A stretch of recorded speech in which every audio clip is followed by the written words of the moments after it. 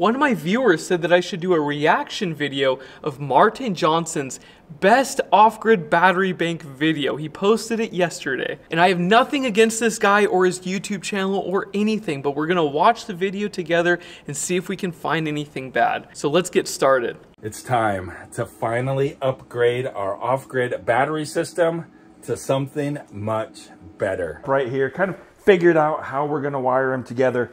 Eight, nine, ten. Ten Battleborns. How much does that cost? This thing is $2,149. You can get that same capacity right now for $459 on Amazon with EcoWorthy. So he has $20,000 worth of batteries. He could easily just spend $5,000. That's crazy. All right, let's continue. Sorry. That's ridiculous amounts of money for what you're getting. And they're arranged like this. This is positive, this is negative. And that way we can tie them together. We're doing a 48 volt system. 48 volt?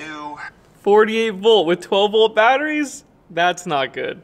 They're all basically the same voltage. According to Battleborn, they all need to be within one tenth of a volt. So no, no, no. You do not want to do that. You don't want to use the voltage to determine the state of charge before you series connect them. If you are going to series connect batteries, cells, or anything, you want to charge them all up to 100% and then put them into series. The voltage will be relatively the same, so you can't just measure them and connect them. You need to charge them up to 100% and then series parallel connect them.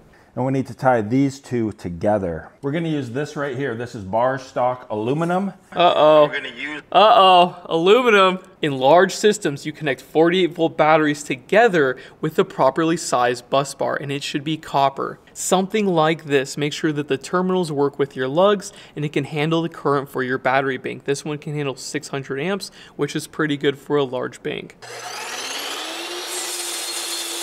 That's going to be a really clean setup here, man. Clean setup? clean setup. Having 12 volt batteries in series is going to be clean. I wonder if he calculated the cross-sectional area of this aluminum and if it could actually work for this size battery. These are pretty big batteries. You want to use large cables or large bus bars. This is my vise. It's my fancy vise. Check this out. So we take our thing here, put it in there. There we go our vise. Take our flux for the flux capacitor, put it on there. We're gonna take our solder and instead of just like putting it in there, we're gonna cut little pieces off. It takes like, I don't know, 12 or so probably. And then when we heat it up, they'll just melt in there. That'll just make it go a little bit faster, probably. We're gonna find out here. Whoa, whoa, whoa, whoa, what is he doing? He is soldering the lugs? What? No way. Thing here, put it in there. There we go. Oh my god, my soul is dying right now. What? No. Don't do it. Instead of just like putting it in there, we're going to cut little pieces off. Takes like I don't know, 12 or so probably. Who in the world told him to do this? This is ridiculous. No, you do not use soldering for large lugs. You want to have a cold weld. And we do that with a crimper. These lugs are designed to be crimped, copper on copper with nothing in between. And then you cover it with heat shrink. You do not want to solder large lugs like this. Pull down too much. All right, here we go.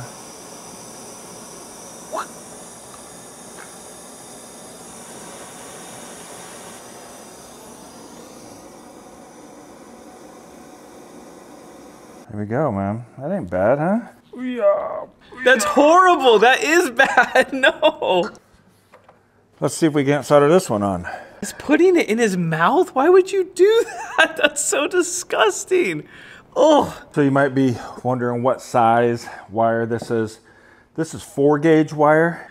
Four gauge wire? What? With 280 amp batteries? Oh, these are 270 amp hour. Really? For $2,400? Oh, this is the heated version. That's so ridiculously overpriced, my goodness. I don't see anywhere on here how much current this battery can provide. So yeah, 4 gauge is not what you want to be connecting 280 amp hour batteries with. Even if you have parallel strings, that's especially dangerous because all those strings could dump current into that little 4 gauge wire. That's not okay. You should use 4-aught or 2-aught and then have overcurrent protection for each individual string. 4 gauge here, this can handle 70 amps. The whole thing is 200 amps, all right, 48 volts, is how much we can put into it and or take out of it at any one time because of the equipment that we have. That's why we're using number four to connect them together. So that'll be 70 amps per bank that we can take off of them safely. So 200 divided by three, 70 should be fine. Together? Oh no, not fine. You don't want 4 gauge conductors for that large of a battery.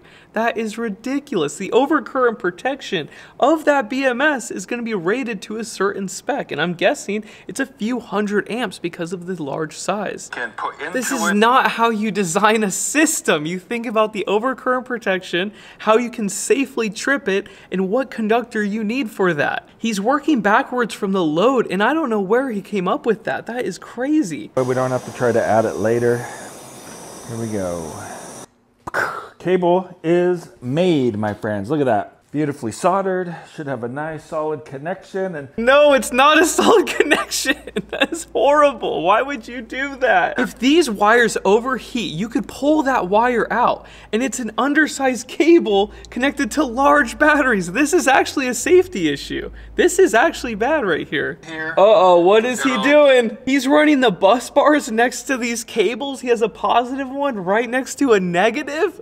Oh, this is just hurting my soul. And they're soldered. If they pull out and touch a bus bar, there's like a million things wrong right here. Saturday night, I got this thing set the way that I want to install it out in the solar shed. Why is he doing this with these batteries in his garage? You want to set up the batteries first because they're heavy, and then you wire them up. Why would you wire them up like this? And the Battleborn website doesn't show how much it weighs, it shows the dimensions, but it doesn't have a weight? Why?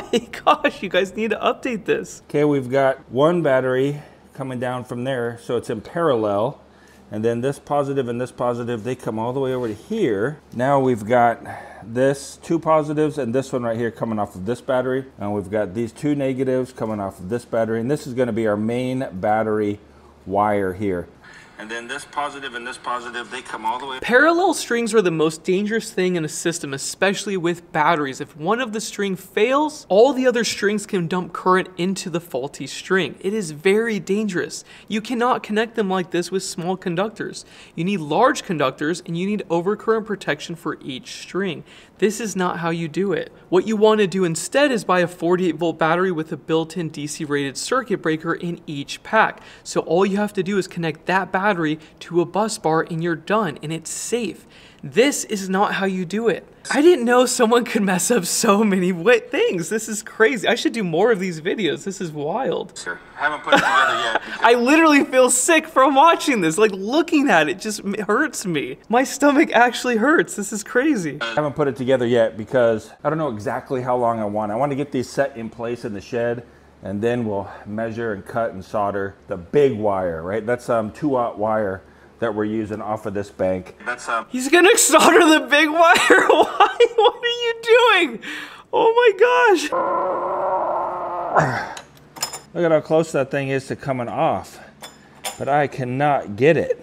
Oh no, he galled the threads. It's stainless steel hardware. It is a cold weld. Those metals are sharing electrons and they are now one. The only way to remove this is to chop it off or drill it out or use one of these. This is my favorite. This one's made for cast iron thick metal and I can chop stainless steel bolts off in seconds because you're not going to be loosening this up. This is one piece of metal now.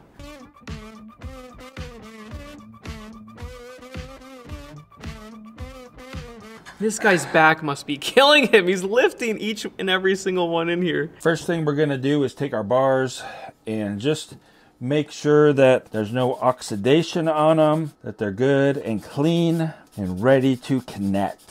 So we're just using some really fine sandpaper. It's like 400 grit sandpaper. I'm gonna go ahead and put. He cares so much about things that do not matter and doesn't care at all about things that absolutely do matter, I've noticed. Check our voltage now just for fun. We should be 50 some odd volts. He has the main terminals with those four gauge wires next to a wooden wall? Why would you do that? We should. I think he should rebuild this system. I, if you're watching right now, take this thing apart. This is not safe. You need to rebuild this. Mm, 53.2, 53.2, 53.2. It's perfect. That's exactly what we want. Every single one of them, the same. If you are going to do it this way, you need to charge up each pack individually to 100%. Do not use the voltage. The voltage is not an accurate way to assess the state of charge, especially when the batteries come from a factory. You want to charge them all up to 100%, whether you series or parallel connect them. Do not just test the voltage and say, hey, it's within this. No, that is wrong. Charge them up to 100%, then ignore the voltage, let the charger do its job, hit over voltage protection, and then it will disconnect, and then you connect them all together. Do not do it like this. Six months later, guys. Oh, look at that, man. That is looking sharp. Everything is connected up. Comes up here.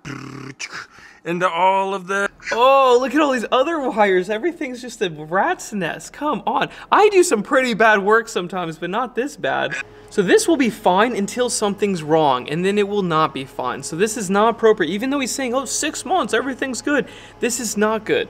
More power. This battery system up here has around 19,200 watt hours of power in it, but this system down here has 38,880-ish watt hours of power in it. So we have watt hours is not power. It is energy. It is storage.